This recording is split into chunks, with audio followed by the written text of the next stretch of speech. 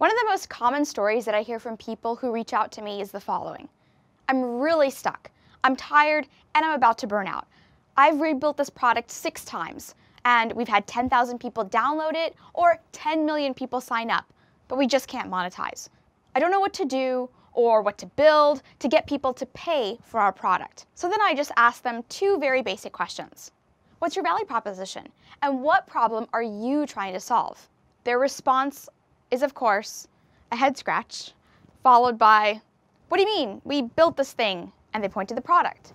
So I try to dig in a little bit deeper and ask them, Well, what's the problem what, that you're trying to solve? But they're just not sure. It's composed of a lot of features. So then I move on to asking them, Well, who are your customers?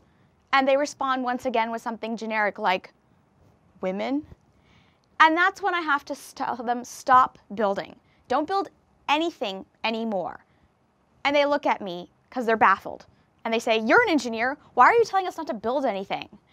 And I have to say, Your problem is not that you don't know how to build a product or that you don't know how to get people to try it out. The problem is that you don't know how to convey the value of your product to people. So you don't have an engineering problem, which is why I don't want you to build anything anymore. I want you to think about running an experiment.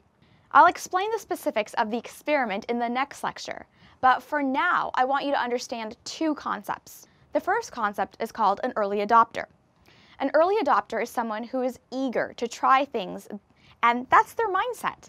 As a result, they're open to trying new products, solutions to acute problems, and having interesting experiences.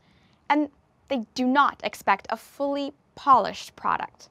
If you contrast this to a mainstream customer, they need a lot of validation. And you'll hear that when they say, well, I've got to hear it from several friends, or they'll need to see that the company's manufacturing the product, or they want to know that you have several seals of approval, or that you've been around for a while. So before you have built up any credibility as a company or build a product, you'll need to focus on attracting the early adopters, people who are willing to pay to use your product despite what it might mean in terms of the lack of features or however many bugs it might have in it. The second concept is called value proposition. You are proposing that a customer can expect to receive a certain experience or benefit from your product or service in exchange for a certain amount of money. Notice that this definition does not include my product has X, Y, and Z feature.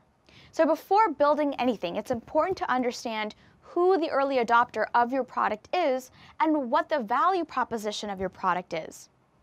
In the next lecture, I will explain how to run an experiment in order to figure out who your early adopters are and what your startup idea's value proposition is.